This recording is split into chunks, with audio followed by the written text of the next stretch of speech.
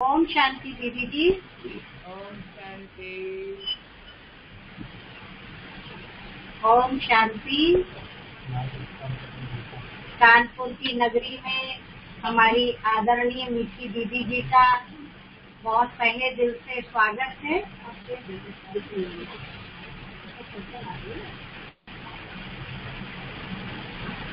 और कानपुर की नगरी में गंगे दादी की जहाँ ज्ञान गंगा बहती है। तो हम चाहेंगे चंडीगढ़ से ज्ञान गंगा बहती बहती कानपुर में पहुँच गई। तो मीठी दीदी का फूलों से हम सभी भाई बहनों की ओर से बहुत बहुत हार्दिक स्वागत है स्वागत है दीदी का बहुत बहुत स्वागत। हमारी आदरणीय दीदी जी, चंडीगढ़ रिट्रीट सेंटर रिट्रीट के डायरेक्टर हैं और ज्ञान की बहुत गहराई उनके अंदर है और बहुत अच्छी अच्छी योग भट्टियाँ भी कराती हैं। माउंट आबू में दीदी जी की बहुत अच्छी अच्छी क्लासें हम सबने सुनी हुई हैं और हम चाहेंगे कि पिछले 40 वर्षों से दीदी जी अपने समर्पित रूप से शिव बाबा की सेवा में हैं और बहुत ज्ञान की गहराई है आपके अंदर। तो हम मीठी दीदी जी से चाहेंगे कि अपने ज्ञान रत्नों से कानपुर की नगरी में सभी भाई बहनों को झोली भरेगी और आप सभी भाई बहने उनका लाभ लेंगे। तो हम दीदी से अनुरोध करते हैं। अपने ज्ञान रत्नों से हम सभी को अनुग्रहित करें। आदरणीय दीदी जी, ओम शांति।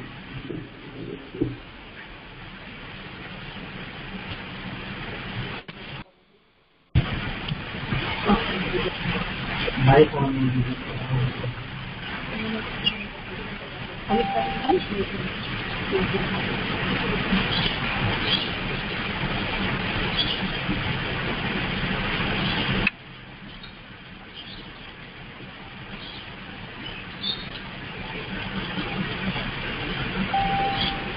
ओम शांति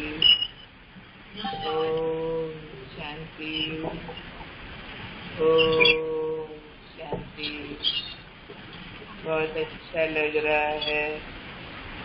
आज चंडीगढ़ में बैठे बैठे भी कानपुर वालों से मुलाकात हो रही है। ये ऐसा कोरोना का खतरा आया है। वॉल्यूम बढ़ा ब्राह्मणों के परिवार को और नज़दीक लाया। जिनके पास वैसे कभी नहीं पहुँचे उनके पास भी अभी साइंस के साधनों से पहुँच रहे हैं मुलाकात हो रही है। हमारा तो ब्राह्मण परिवार इस कोरोना ने और नज़दीक ला दिया। है दीदी जी आवाज़ कम आ रही है। ज़्यादा मिल रहा है। कह रहे आवाज़ कम आ रही अच्छा तो और फुल आवाज़ है। कुछ टेक्निकल देखे। उधर से भी आवाज़ कम आ रहा है। अभी देखेंगे आवाज़ आ रही है? कम आ रही है थोड़ा स्लो है। अभी भी कह रहे हैं कम आ रही हाँ, इधर माइक लगाया और फुल आवाज़ चलाया। अच्छा। तो इधर आके श्वेता बन देखो कंप्यूटर में कोई टेक्निकल चीज़ हो। हाँ एक मिनट वेट करते हैं तो आवाज़ बढ़ जाए। हाँ हाँ आ रही है थोड़ा अभी बढ़ हाँ? जी जी दीदी थोड़ा बढ़ा है।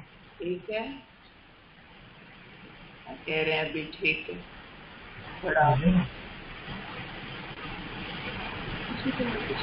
अभी ठीक है? हाँ कुछ कुछ बढ़ा है थोड़ा सा। कुछ बढ़ा ठीक है दीदी ठीक है। हाँ जी। शांति। ओम शांति दीदी जी। ठीक है हाँ जी दीदी ठीक है। ठीक है। साइंस के साधनों की बलिहारी है, जो हम ब्राह्मणों की आपस में मुलाकात भी कराई और सबको स्व उन्नति के लिए अच्छा चांस बाबा और ड्रामा ने दिया है।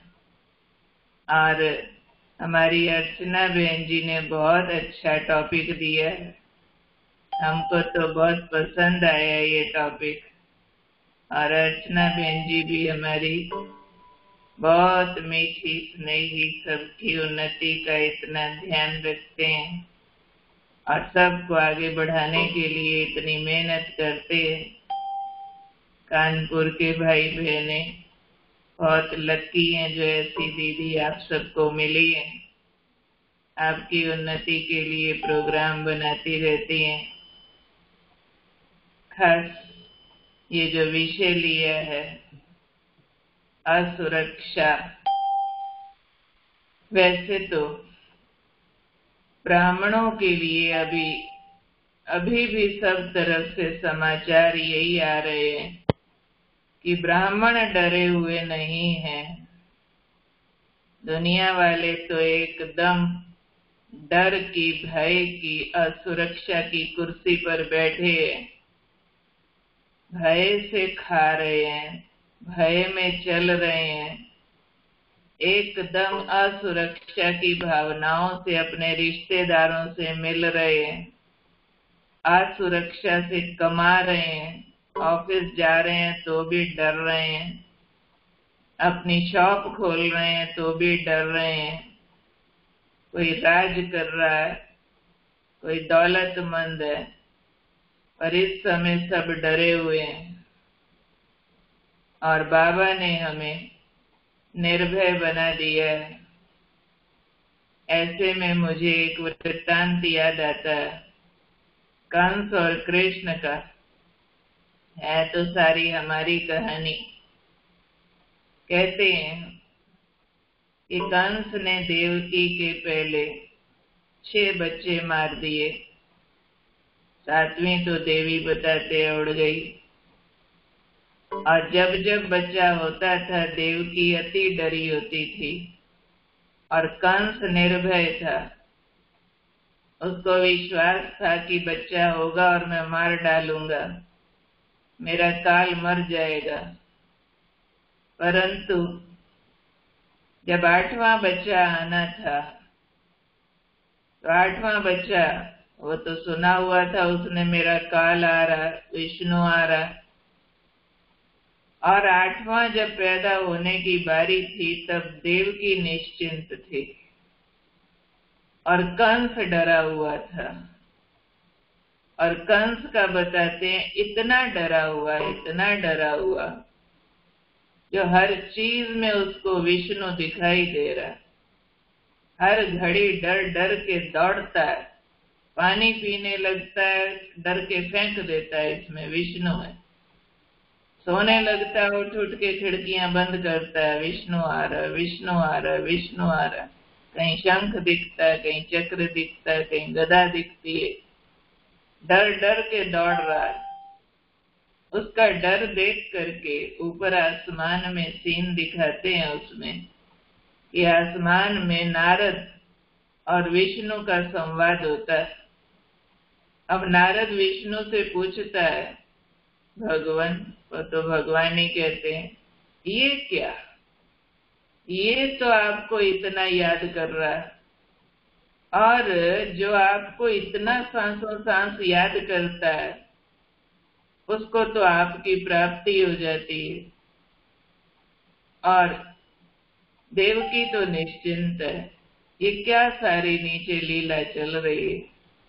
तब कहते हैं उसको उत्तर मिला कि इस समय कंस मुझे याद तो कर रहा है, पर कैसे याद कर रहा है? डर के याद कर रहा है।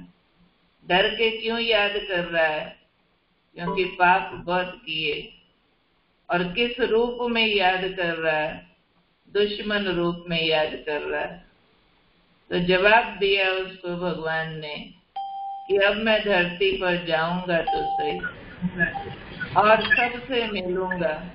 लेकिन जो मुझे जिस रूप में याद कर रहा है उसे उस रूप में मिलूँगा। मुझे गोपियाँ भी याद कर रही हैं लेकिन मित्र रूप में याद कर रही है। मुझे ऋषि मुनि भी याद कर रहे हैं परंतु भगवान के रूप में याद कर रहे हैं। मुझे कंस भी याद कर रहा है परंतु दुश्मन के रूप में याद कर रहा है।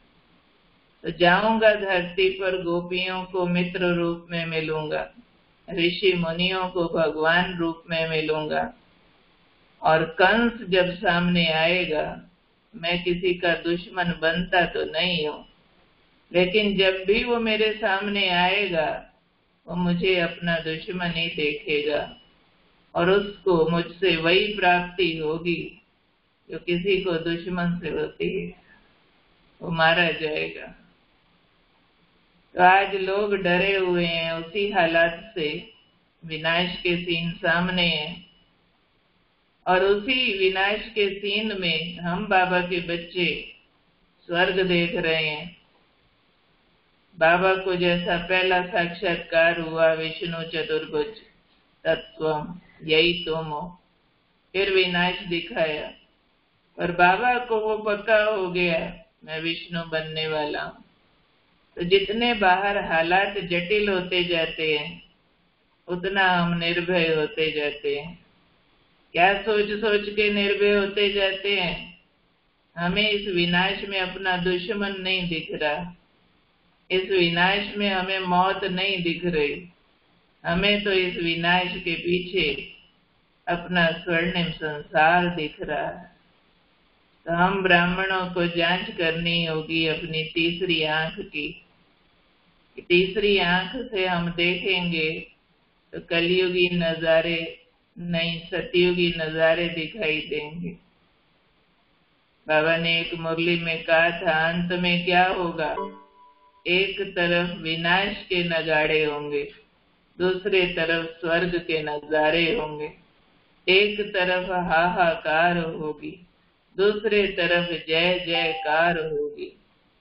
लेकिन वो जय जयकार किनको फील होगी, जिन्होंने समय पर आए हुए ईश्वर का पूरा लाभ लिया है। जैसे वृत्तांत बताते हैं कि जब जब मुसीबत आई, कैसे भक्तों की रक्षा हुई, क्योंकि मुसीबतें डराती हैं, बीमारियाँ डराती हैं, मौत डराती है। अपमान डराता ऐसे कई चीज़ें जिनसे असुरक्षा लगती है। देह की असुरक्षा है इसको बीमारी ना आ जाए, कहीं देह को मौत ना आ जाए, या डरते हैं कोई हमारा अपमान न कर दे, या फिर कोई बहुत इच्छाएँ किसी ने रखी हुई है। इतना पढ़ लू, इतना कमा लू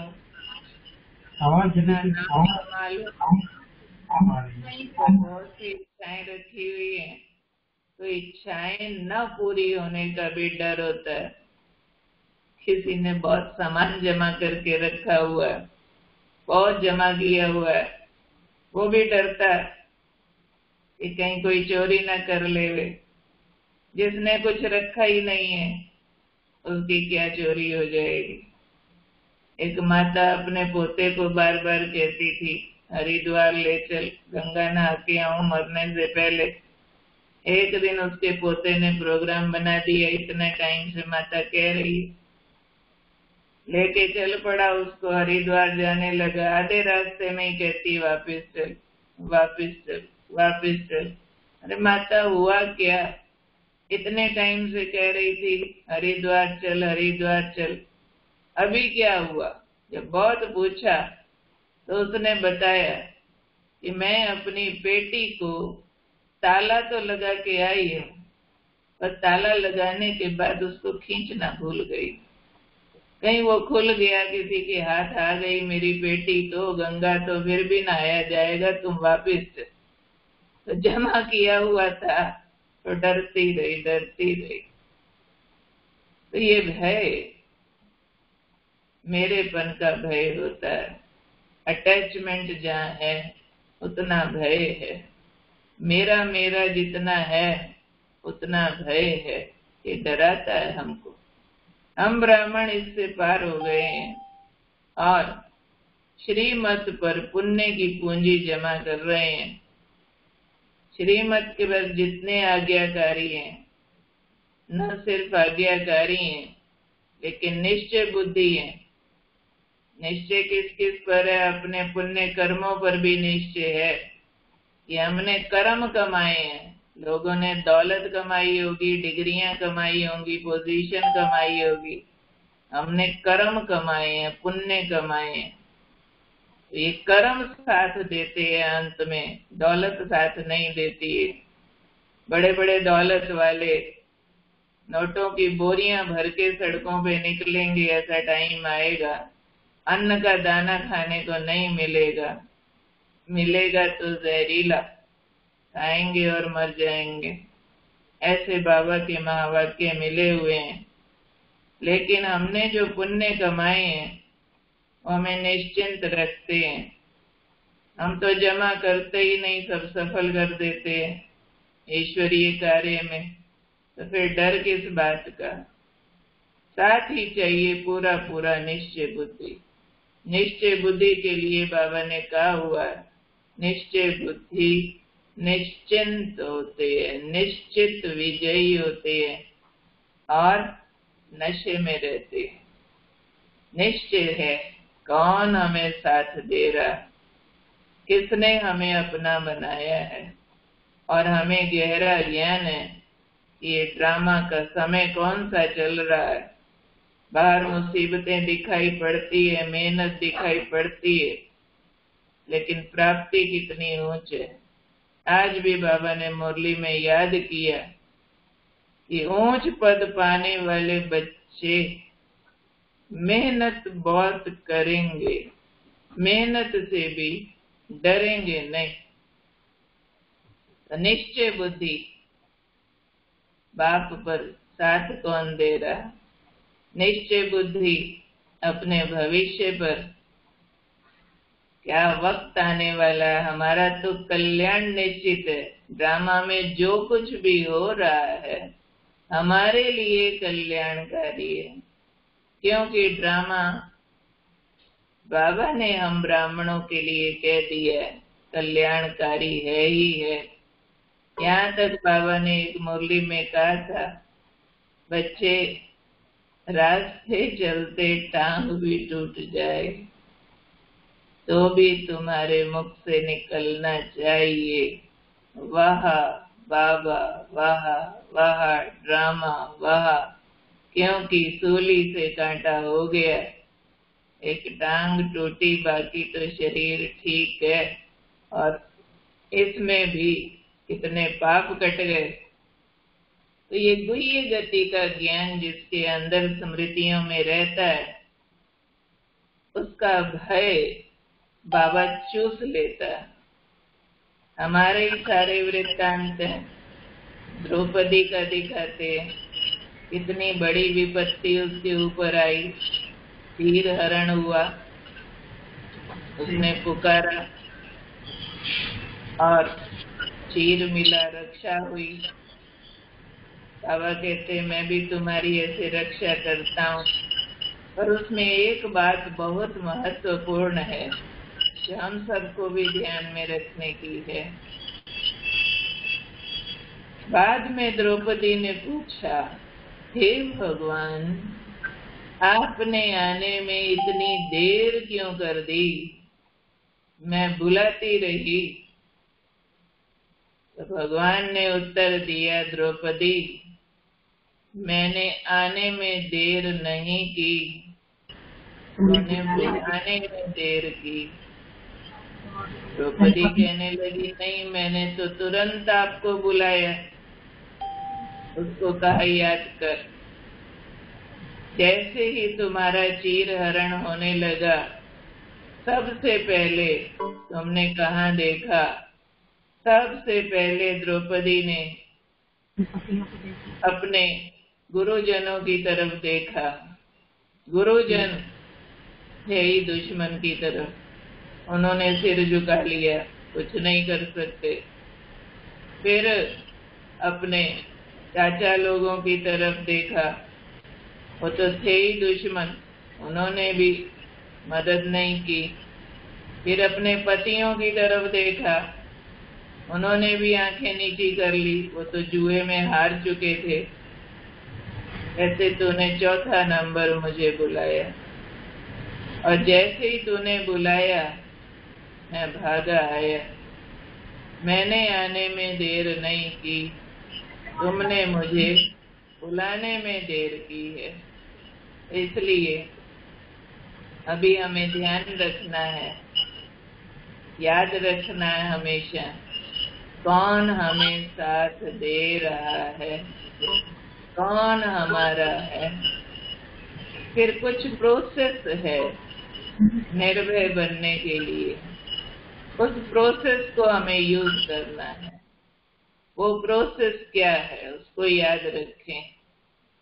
वो प्रोसेस बाबा ने बताया है कि सबसे पहली बात है, ये जो देह साथ लगी पड़ी है, इसका जितना भान होता है उतना इसमें डर होता है।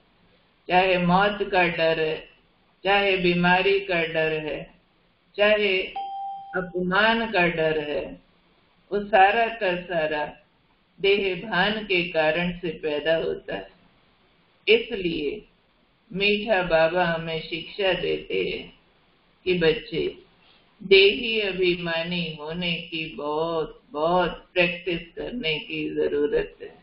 देह से न्यारा सोल कॉन्शियस जिसका अभ्यास बाबा ने हैदराबाद सिंध से बच्चों को बहुत कराया। दादियाँ बताती है कि बाबा ने इतना हमें आत्मिक स्थिति का अभ्यास कराया। हम हर काम करते, आत्मा हो आत्मा हो आत्मा हो। इन शरीर के अंगों से काम कर रही हूँ। ये अभ्यास करते थे। कोई भी आता सामने, ओम शांति भी नहीं बोलना होता था, तब तक शुरू भी नहीं हुआ था।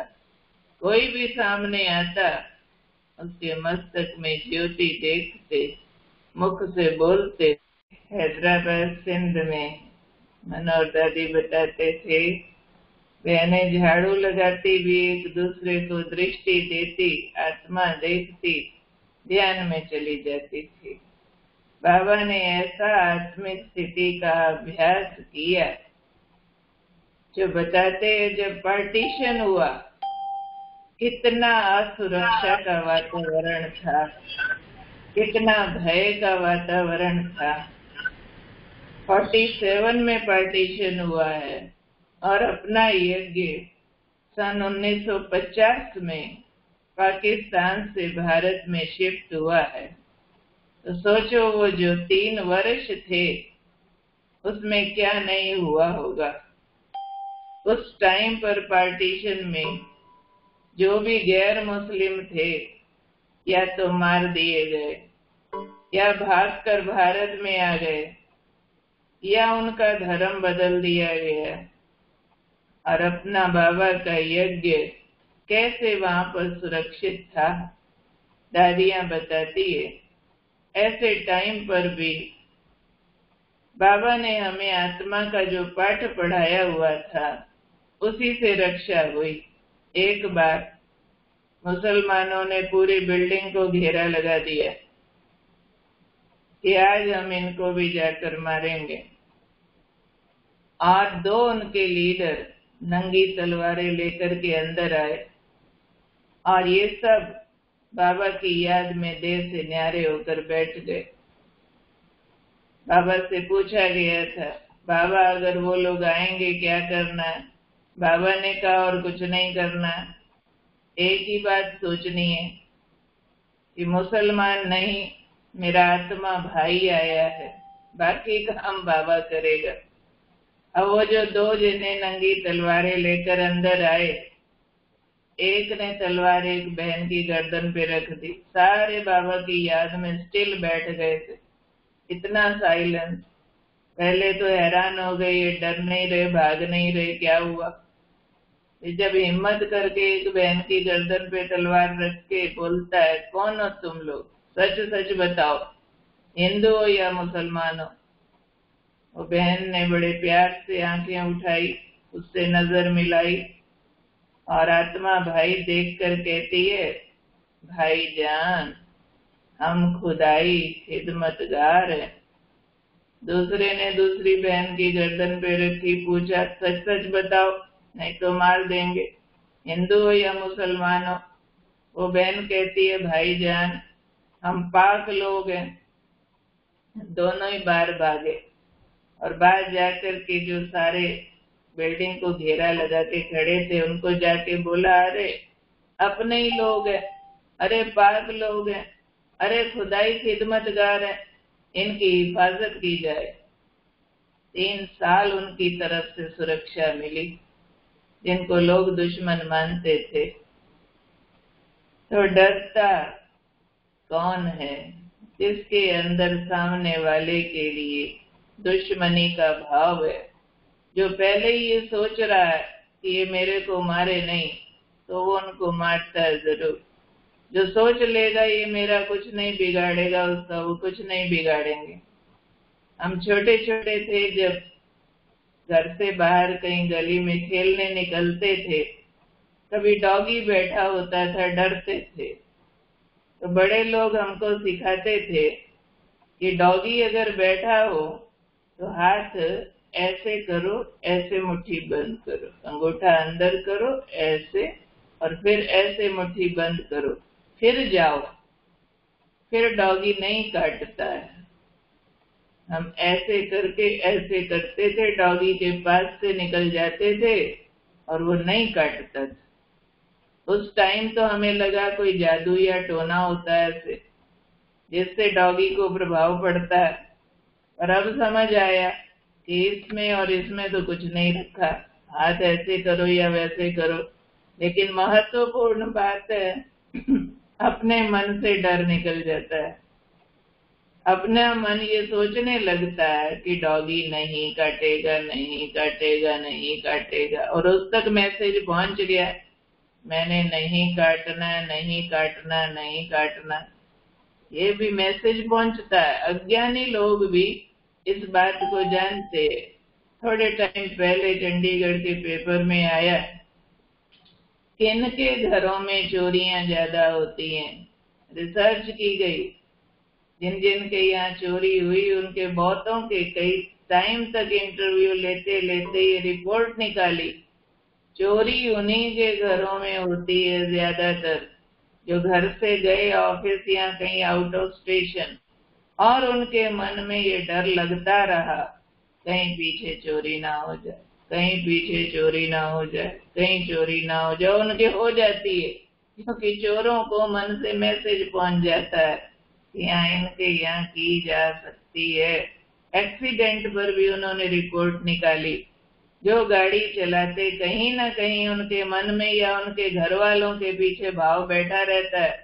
ध्यान से चलाना कहीं मारना देना, ध्यान से चलाना, देखना टक्करना लग जाए, उनका होता है।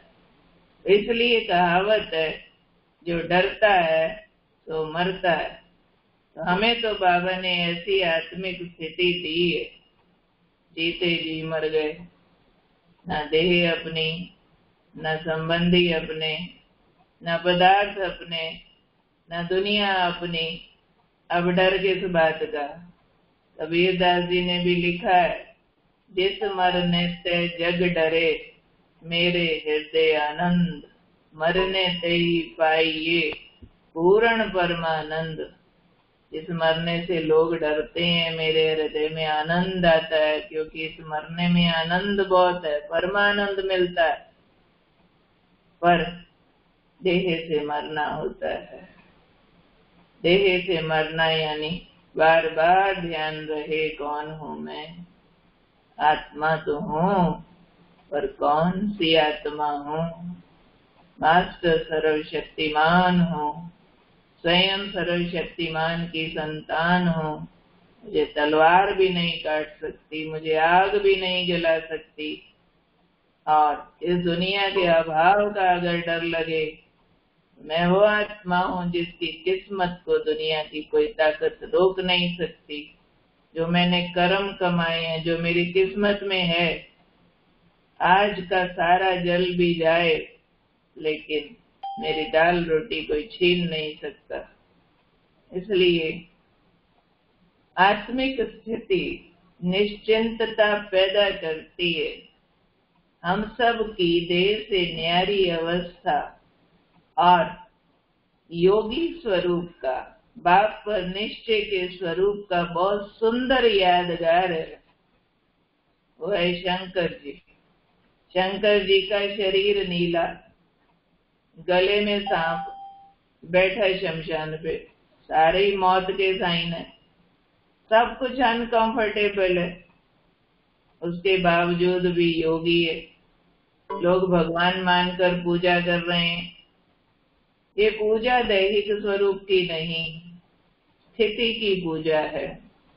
ये हम सबने जो स्थिति बनाई, जीते जी देह से मर गए तो देह नीली लिविंग डेट देह में है पर देह से लगाव नहीं है। गले में सांप, यानी विषैले रिश्तेदार, गले में है, उनको पालना पड़ रहा है।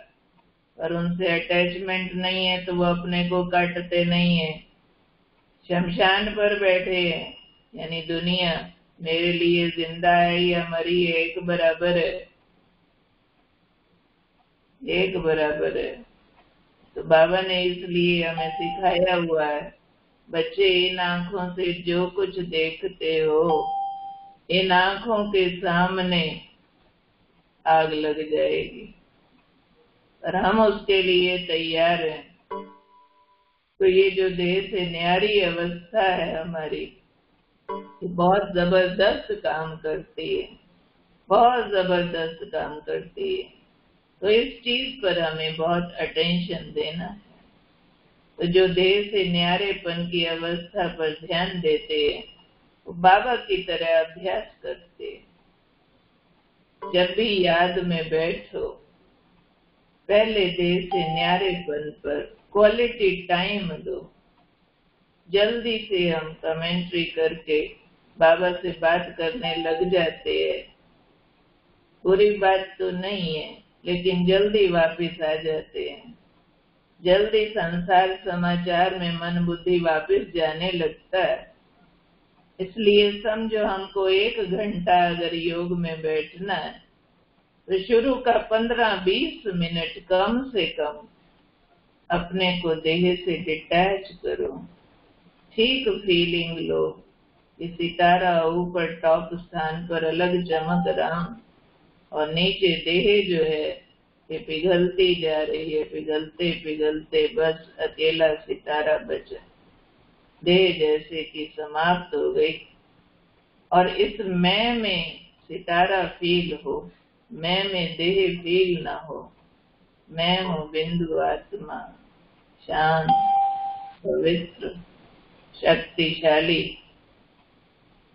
सर्व शक्तियों की अधिकारी। और फिर देखो कि शरीर को दर्द है या शरीर मर गया, मुझे फ़र्क नहीं पड़ रहा है। मैं अमर ज्योति बिंदु हूँ। उड़ जाता हूँ अपने सितारों के देश। और भगवान की किरणों में हूँ। उस प्यार के सागर की किरणों की गोदी में हूँ। ये फीलिंग्स जितनी गहरी होती जाती है, उतना ये देह के खतरे, इसका भोजन, इसका मकान, इसकी चीज़ें खतरे है ये। ये तंग नहीं करते। जो हम पजेस करते हैं शरीर के नाम पर, जिन चीज़ों पर अधिकार जमा के रखा हुआ है। जब देह ही मेरी नहीं है तो फिर भय किस बात का तो इसलिए, पहली बात, देह से न्यारापन। दूसरी बात है, बाबा का साथ का अनुभव बढ़ाते जाओ। खास, बाबा का महावाक्य याद करो। कुछ समय पहले भी वो मुरली रिवाइज हुई है। बाबा ने अव्यक्त मुरली में कहा था, बच्चे, बहुतों ने ये रिंग टोन भी बनाई हुई है। जब भी मुश्किल आवे ना, दिल से कहना, मेरा बाबा, मेरा साथी, आ जाओ, मदद करो, और बाबा आ जाएगा। और हमको ये मालूम है, जो भी अब तक बाबा के बच्चे बने हैं, नए या पुराने, हर एक को बाबा की मदद का अनुभव है। कोई ना कोई टाइम मुश्किलों में उन्होंने महसूस किया है कि बाबा की अनायास मदद, अकारण कृपा ऐसी होती है, दिल पिघल जाता है बाबा के प्रति। हमें एहसान और शुक्रिया मानने लगते पर गलती क्या करते हैं जो डर जाते हैं? इन अनुभवों को याद नहीं रखते। अगर याद रखे तो निश्चय बुद्धि हो जाए कि अब मेरा कुछ बिगड़ नहीं सकता है। क्यों? क्यों कौन साथ दे रहा है? तो सर्वशक्तिमान मेरे साथ है। जैसे पीछे थोड़ा समय पहले एक अनुभव किसी ने सुनाया कि दो कुमारियाँ कहीं जा रही थी, अज्ञानी लड़कियाँ थी। रास्ते में कोई ने अटैक किया। शरारती लड़के थे, बदमाश लोग थे। एक को उठा के ले गए और पुलिस में बात गई सब और पकड़े गए वो लोग। पकड़े गए और दूसरी लड़की से जाँच कराई गई, पता कराया गया, पता चला ये दो साथ थी। ये अच्छा आओ तुम पहचान के बताओ, ये वही है जिन्होंने ऐसी बदमाशी की है। उसने ज़ोर लगाया, पहचान लिया। हाँ मैंने देखा था, मेरी सहेली को यही दोनों उठा के लेके गए थे। अब उस लड़की ने उन दोनों बदमाशों से पूछा कि हम तो दो जेनी साथ थी। आप लोगों ने उस पर अटैक किया, मेरे पर क्यों नहीं किया? मेरे को तो आप लोगों ने कुछ कहा ही नहीं और छोड़ के चले गए। और उसको आप ज़बरदस्ती उठा के ले गए, ऐसा क्या कारण हुआ? तो वो कहने लगे, जो दोनों थे, कहते वो तो अकेली थी। ये कहने लगी, अकेली तो मैं भी थी। कहते नहीं, तुम्हारे साथ तो एक बूढ़ा आदमी चल रहा था। तो हम उसके होते तुम्हें कुछ कह नहीं सकते थे। तो उस लड़की ने अपना अनुभव सुनाया कि जैसे ही लड़कों को देखा और वो हनुमान चालीसा पढ़ना शुरू हो गई, पूरे निश्चय बुद्धि के साथ। उसको ये अंदर में निश्चय था कि हनुमान चालीसा पढ़ने से रक्षा होती है, खतरा टल जाता है। तो देखो, भक्ति मार्ग में भी ऐसा अगर भगवान साथ देता है भक्तों को, हम तो उसके बच्चे हैं। और बाबा ने खुद हमको ये फार्मूला दिया है कि बच्चे, जब भी मुश्किल आवे ना, दिल से कहना, मेरा बाबा, मेरा साथी, आ जाओ। और बाबा आ जाएगा। पर शर्त क्या है? दिल से कहना। बाबा मदद करने के लिए बांधा हुआ है। और वर्तमान समय के इस असुरक्षा के दौर में एक काम, एक अभ्यास, हमको एक दिन में पाँच बार ज़रूर करना है। और वो अभ्यास है बाबा की किरणों से अपने शरीर के चारों तरफ़ एक सुरक्षा कवच बना। अपने शरीर के चारों तरफ़ भी सुरक्षा कवच बनाओ। अपने संबंधियों के चारों तरफ़ भी बनाओ। पड़ोसियों के चारों तरफ़ भी बनाओ। ग्लोब के चारों तरफ़ भी, क्योंकि बाबा की किरणों से अधिक शक्तिशाली सुरक्षा कवच और कोई भी होता नहीं है। बाबा ने यहाँ तक कहा हुआ है, विनाश काल के दृश्यों का वर्णन करते हुए अव्यक्त मुरलियों में अंत काल कैसा होगा? जो बच्चे मेरी याद में होंगे, निश्चय बुद्धि होंगे, उनकी रक्षा कैसे होगी? वो पहले शरीर छोड़ेंगे, पीछे प्रकृति का प्रकोप आएगा। यहाँ तक बाबा ने एक बार कहा था ऐसे निश्चय बुद्धि योगी बच्चों से। दो फुट दूर बाढ़ भी रास्ता बदल लेगी। तो पहले आत्मा निकलेगी, उनकी फिर बाढ़ उनके शरीर को ले जाएगी। पहले आत्मा निकलेगी, फिर भूकंप में ईंट पत्थर उनके ऊपर गिरेगा, पहले नहीं। परंतु निश्चय बुद्धि माना क्या? भगवान हमारा साथी। है बाबा ने एक बार कहा था, बच्चे, तुम दुनिया वालों को कह देना, हमें जगाता भी भगवान है, हमें सुलाता भी भगवान है, खिलाता भी भगवान है, हमारे सब काम भगवान करता है। तुम जब दुनिया वालों को ऐसे कहेंगे ना तो बाबा ने बोला, लोग तुम्हारी बात मानेंगे नहीं। हंसेंगे भगवान, तुम्हारे लिए खाली बैठा है क्या? तो तुम उन्हें हंसकर बोल देना हाँ संगम युग पर भगवान हमारे लिए खाली बैठा तुम उन्हें कह देना, अंदर ऐसा निश्चय हो, बाबा मेरा है, मेरे लिए है और मेरे लिए खाली बैठा है।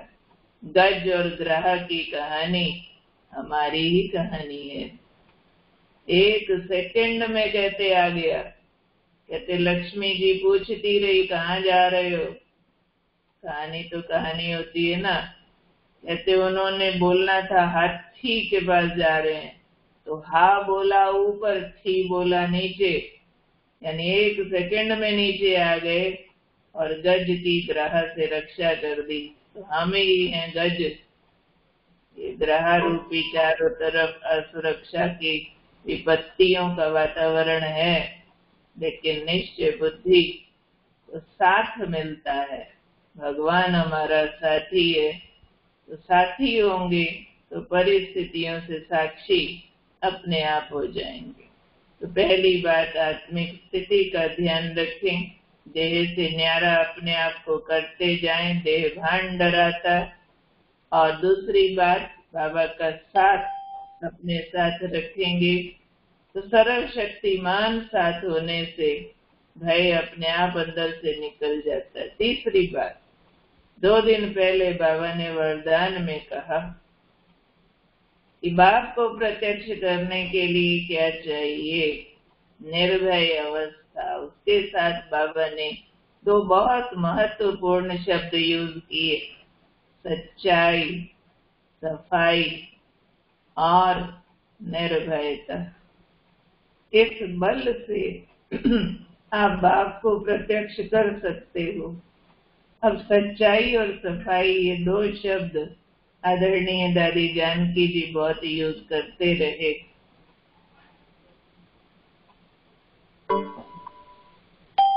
दादी कहा करते थे। कि सफ़ाई पहले या सच्चाई पहले? सच्चाई और सफ़ाई से आती है निर्भयता। सच तो बिठो नच, जो सच्चा है वो खुशी में नचता है। सांच को आँच नहीं, सच्चा कभी डरता नहीं, झूठ डराता है। तो दादी कहा करती थी, सच्चाई पहले या सफ़ाई पहले? तो दादी कहती थी, सफ़ाई पहले। क्योंकि सफ़ाई के बिना सच्चाई आ नहीं सकती। सफ़ाई माना अंदर कुछ मैल है ईर्षा द्वेष है, वैर विरोध है, आलस है, लोभ वृत्ति है, काम वृत्ति है। जब तक ये सफ़ाई नहीं है, अंदर मैल है, ये सच्चा बनने नहीं देती है। लोभी होगा ना। कुछ छिपा के रखेगा, झूठ बोल देगा। कुछ छिपा के खाएगा, झूठ बोल देगा। आलसी होगा। आ रहा आलस, काम करने का दिल नहीं कहेगा पेट दर्द। क्यों? कहा से आया पेट दर्द? आलस से आया। था नहीं। तो झूठ बुलवा दिया उसने। मोह वाला, मोहवश झूठ बोलता है। बात एक होगी बताएँगे, दूसरी अंदर मोह का कीड़ा लगा पड़ा। काम वृत्ति वाला, वृत्ति दूषित है। तो सच्चे हो नहीं सकते देवान के कारण। और छोटे छोटे छोटे छोटे विकारों की जो मैल है अंदर, वो हमें सच्चा बनने नहीं देती है।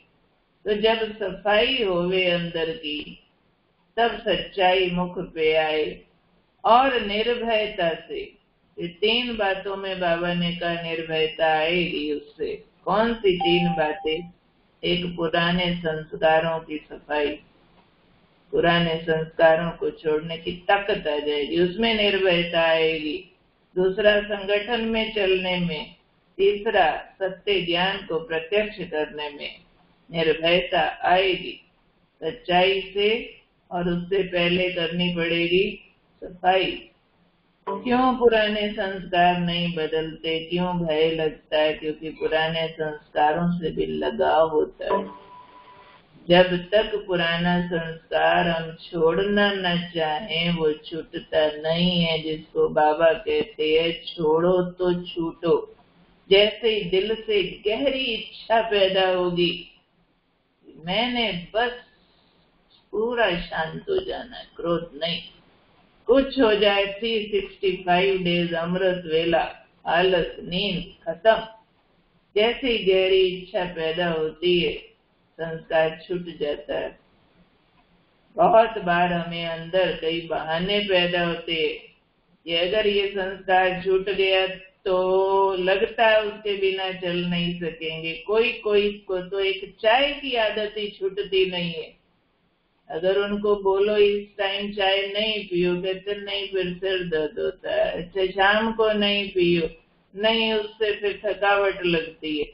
वो जब तक उसको पाला हुआ वो संस्कार पलता रहेगा। जब बाबा को अर्पित कर देंगे, बाबा, ये संस्कार आप ले लो, चुस्ती दे दो, मिलता है, वापस मिलता है। परंतु अंदर सच्चाई और सफ़ाई है।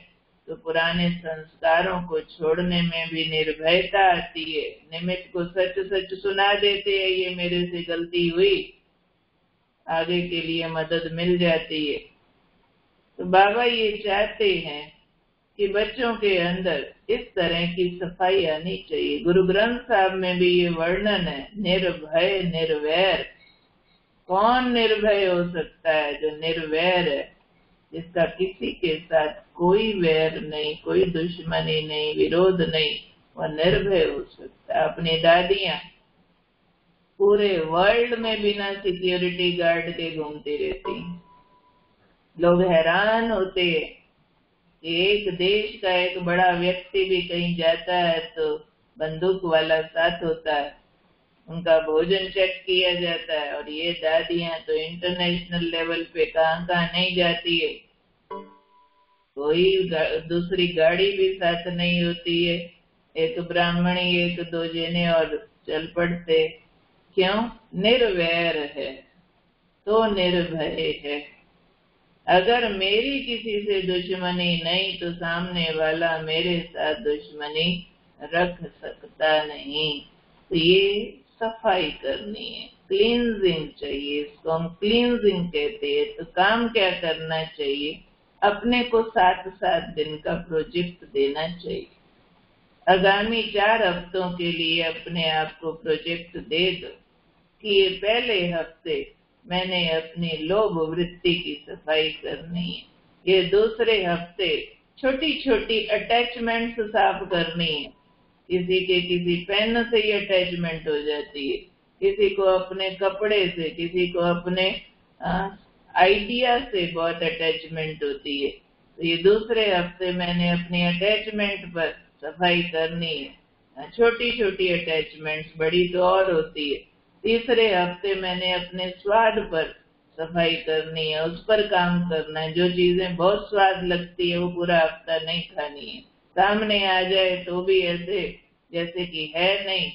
बिना स्वाद लगने वाली चीज़ खानी है। चौथे हफ़्ते मैंने अपने आलस की सफ़ाई करनी है।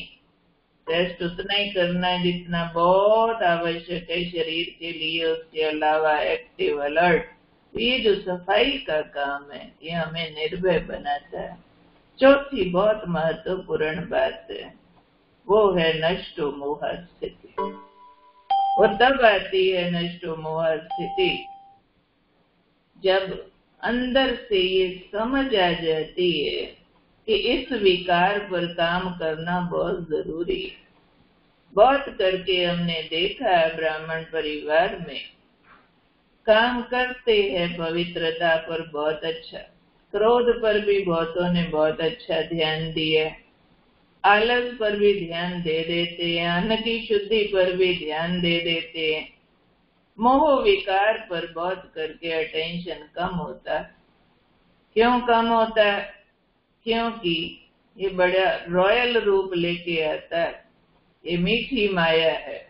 एक होती है लोहे की जंजीर, एक होती है सोने की जंजीर। तो ये सोने की जंजीर बन जाता है।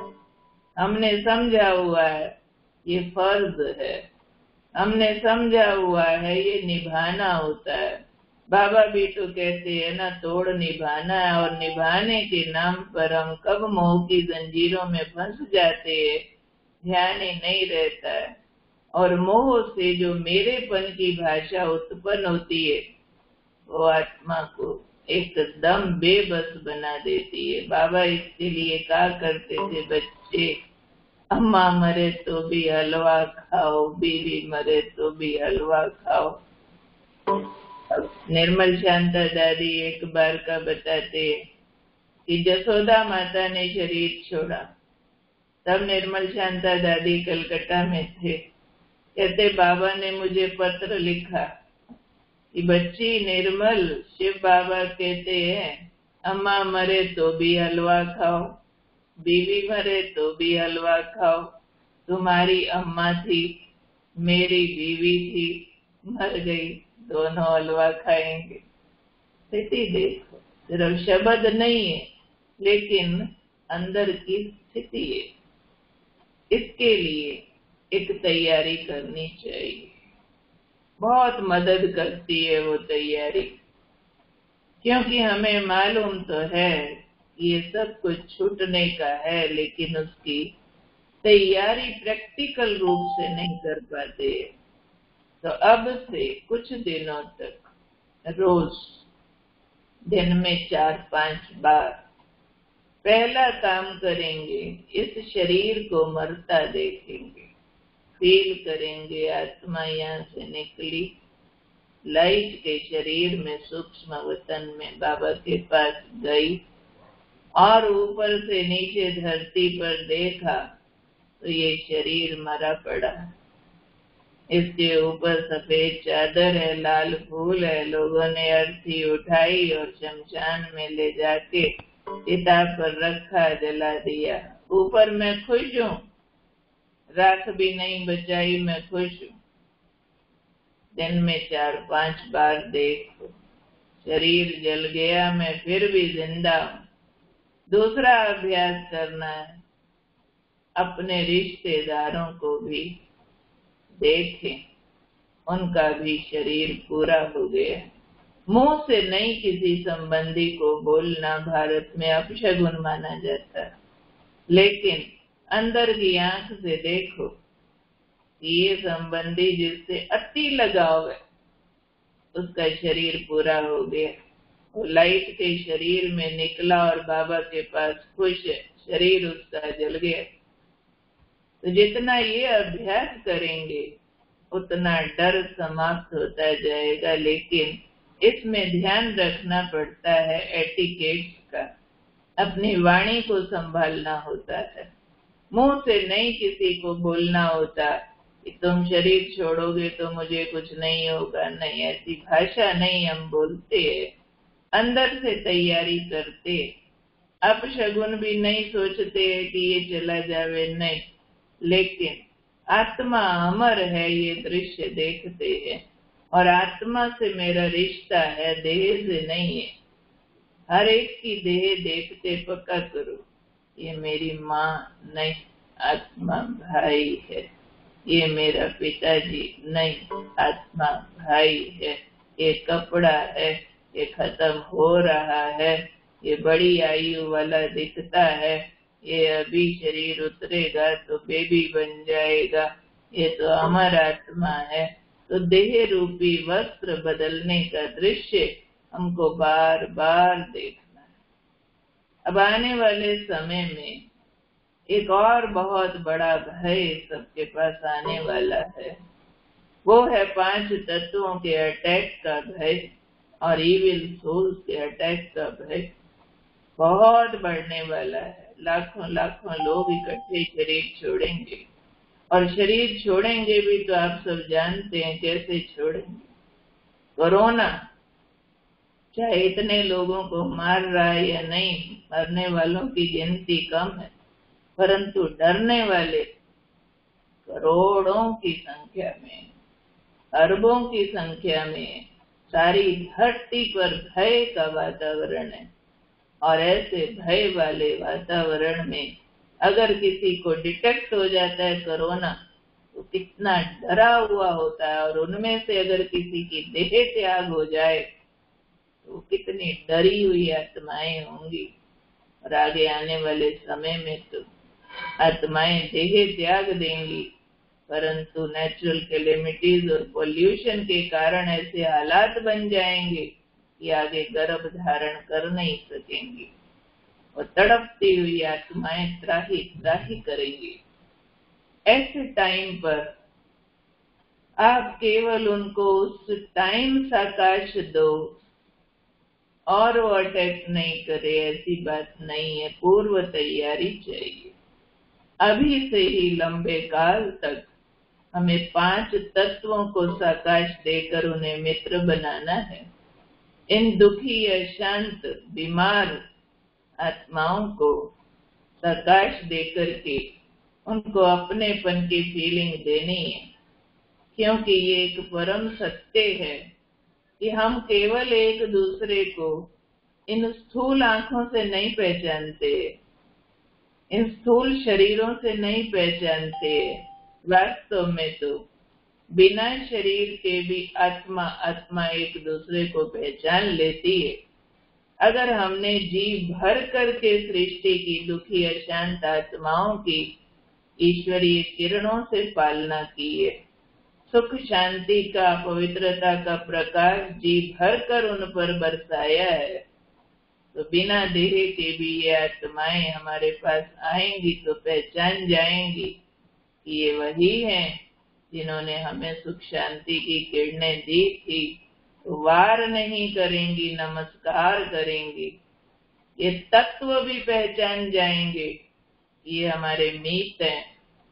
बाढ़ आएगी, औरों को डुबो जाएगी, आपको छोड़ जाएगी, क्योंकि आपने जल तत्व की सेवा की होगी। आपने धरती तत्व की सेवा की है। तो ये पृथ्वी अंत तक आपको साथ देती रहेगी, भूकंप में दबाएगी नहीं। वायु तत्व की सेवा की है तो तूफ़ान आपको नहीं पटकेगा, नमस्कार करेगा तो ये प्रकृति दासी हो जाएगी। पाँच विकार भी सेवादार हो जाएँगे। अगर सहज भाव हमने विकारों का त्याग कर दिया तो तो इसलिए ये हालात हमें डराने नहीं आए हैं। लेकिन तैयारी करा के बाबा के और समीप लाने आए हैं। तो इन पाँच बातों के अलावा बाबा ने एक काम हमें दिया हुआ है कि बच्चे, तुम्हारे लिए तो अभी वतन घर है ना? तो तुम ऊपर रहो, उपराम रहो। एक अव्यक्त मुरली में बाबा ने कहा था, बच्चे तुम इस धरती पर ऐसे रहो जैसे कि तुम यहाँ नहीं हो। वतनवासी हो जाओ और वहाँ से नीचे देखो कैसे कठपुतली डांस कर रही है। बार बार अपने को देह से न्यारा कर, सूक्ष्म वतन निवासी बाबा के सामने ले जाओ। बाबा और मैं, बाबा की लाइट और माइट मेरे अंदर समाती जा रही है। और दोनों साथ वहाँ से इस धरती का चक्कर लगाते चक्कर लगाते देश न्यारे फिर सितारों की दुनिया में ऊपर चले जाओ परम धाम में। वहाँ से आत्माओं के झाड़ के पूर्वज बन उसको सकाश देते। फिर नीचे धरती के गोले तक गिरने दो। तो ये जो वतनवासी होकर रहना, नीचे के सब डर और खतरों से हमें बचा देगा, जिसको क्वारंटाइन कहते हैं आजकल। कि जिसको कोरोना आया है, वो भी अकेले हो जाओ। जिसने कोरोना से बचना है वो भी अकेले हो जाओ। अकेले होना है। अकेले आए, अकेले जाना है अकेले में, अकेले होकर उस अकेले बाप को याद करना है ये पाँच केले खाने हैं हमको। तो एकांत का टेस्ट बढ़ाना है। और एकांत का टेस्ट बढ़ाते हमारा लंबे काल का एक अनुभव है। जितना आत्मा अंदर अपने सुख और आनंद की स्थिति में स्थित होती है। उतना बाहर का दुख अटैक नहीं करता। तो ये हमें एक आदत डालनी है कि छोटी छोटी बातों से दुख नहीं लेना छोटी छोटी बातों में चिढ़ जाना, रिएक्ट कर देना, बड़े खतरों से हमें सुरक्षित नहीं करेगा। बातें आज छोटी लगती है एक नमक भी ऊपर नीचे हो गया दाल सब्ज़ी में और हम इरिटेट हो रहे हैं। हम रिएक्ट कर रहे हैं, वर्णन कर रहे हैं। आपको खाना नहीं बनाना आता है वगैरह, नहीं नो रिएक्शन जैसे मम्मा, जगदम्बा माँ का मास चल रहा है ना, मम्मा ने कभी भोजन में ये वर्णन नहीं किया, नमक कम है कि ज़्यादा है।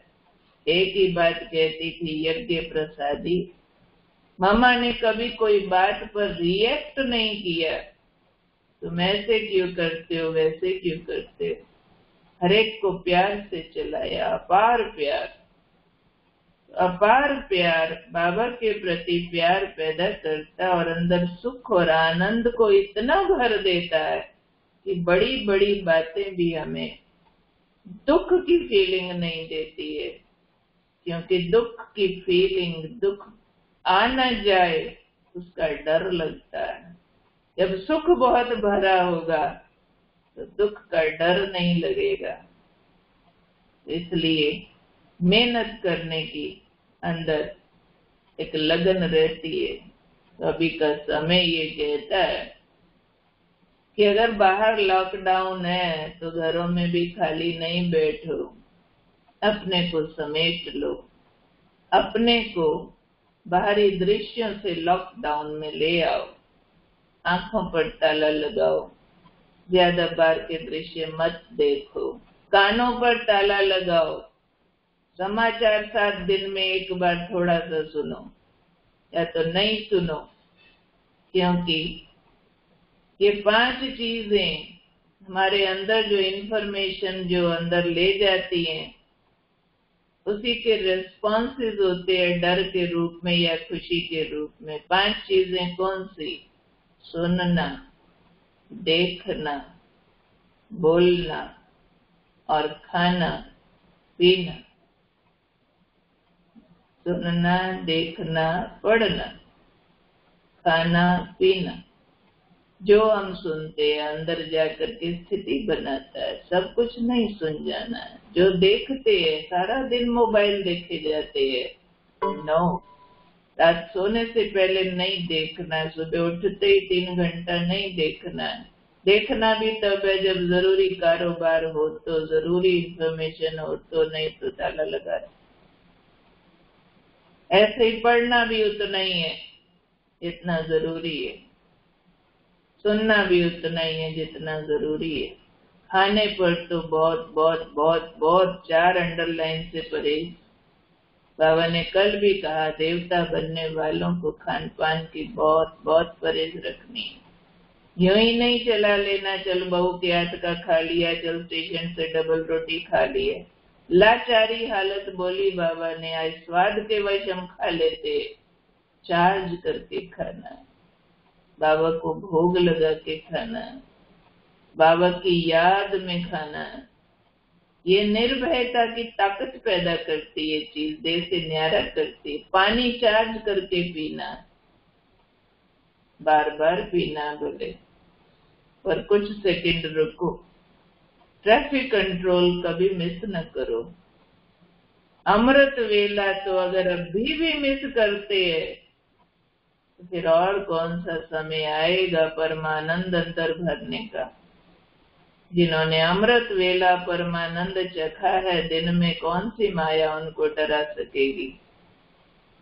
जिनका कोई भी कारण से ऊपर या नीचे होता है या मिस होता है, वो अपने ऊपर कृपा करें। अपने दोस्त बने। ये जीवन अब केवल तपस्या के लिए है। सोने के लिए नहीं पैदा हुए हैं, खाने के लिए नहीं पैदा हुए हैं। शरीर नौकर है आत्मा राजा तुम नौकर को पालती रहोगी क्या? और ये नौकर तो धोखा दे जाएगा, छोड़ जाएगा। इसलिए इस नौकर से मेहनत कराओ। एक एक सेकंड का लाभ हमको उठाना है। तो अपने ऊपर अटेंशन का पैरा हम लगा करके रखेंगे तो ज़रूर भय तो क्या ये भय भी डरता जाएगा? मन को धीरे धीरे शांत करते जाए। बहुत नहीं सोचना होता।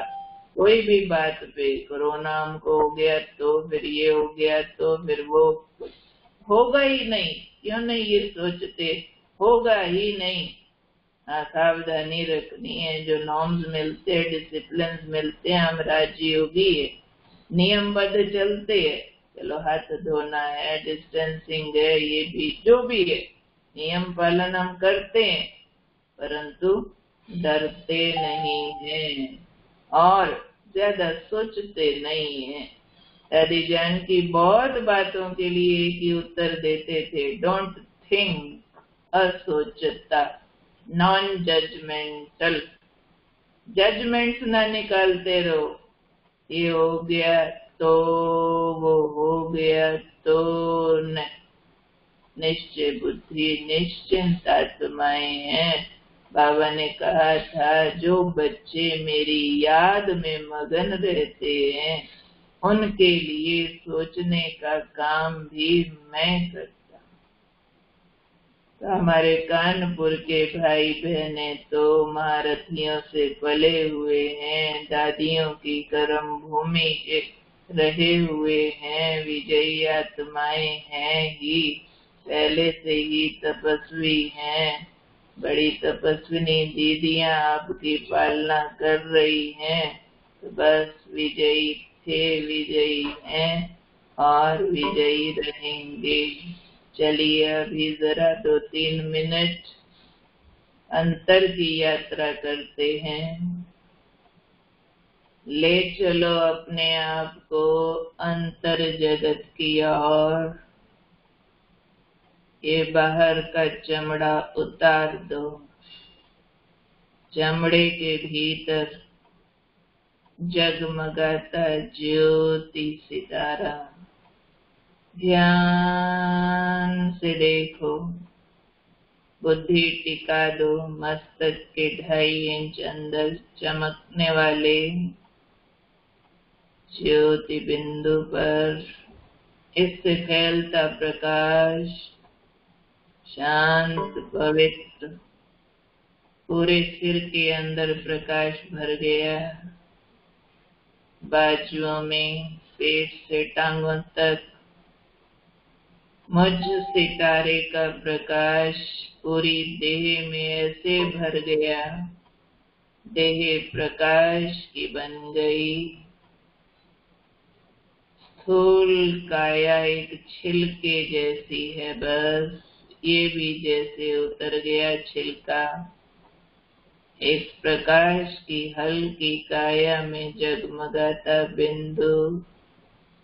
धरती का आकर्षण छोड़ जा रहा हूँ ऊपर की ओर। दूर दिखाई पड़ता है बादलों में मेरा बाबा। ज्ञान चंद्रमा माँ प्रकाशमयी फरिश्ता ब्रह्मा। उनके मस्तक में जगमगाए ज्ञान, सूर्य, शिव महाज्योति बिंदु मैं प्रकाश में काया वाला बिंदु। बाप दादा के सामने गहरे प्यार की दृष्टि। तेज किरणें मुझे छू रही हैं। मेरे माता पिता का प्यार बरस रहा है। सर्व शक्तिमान साथी है। बाबा ने अपना हाथ आगे बढ़ाया। मैंने बाबा के हाथ में हाथ दे दिया। बच्चे, मैं तुम्हारा साथी हूँ। तुम्हारे सब काम मैं करता हूँ। तुम चिंता मत करो। जी बाबा। जब आप साथ है तो डरने की क्या बात है? बाबा का अनोखा, आनंददायी प्रकाश मेरे अंदर समा रहा है। मुझे हल्का बना रहा है। बाबा का शक्तियों भरा वरदानी हाथ मेरे सिर पर। अनंत शक्ति अंदर समाती जा रही है। मैं निश्चिंत हूँ, खुश हूँ। बाबा का प्रकाश बरसने दो, अंदर समाने दो।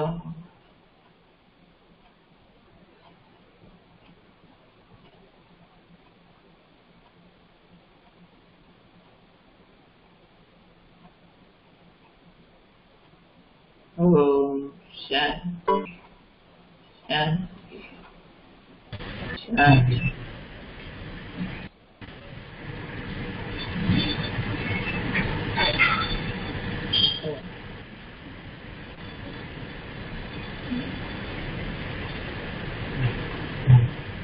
शांति दीदी।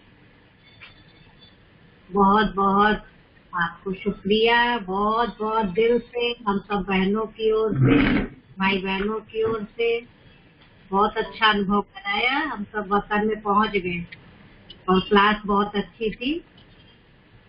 सभी को बहुत अच्छा लगा। आप दोबारा फिर हमें ज़रूर चांस देंगे। अनुभूति मधुबन में मिलेंगे फिर जल्दी। जी दीदी। जल्दी मधुबन में मिलेंगे बाबा बुलाएगा। जी दीदी। ओम शांति। बहुत बहुत थैंक यू ओम शांति दीदी। ओम शांति।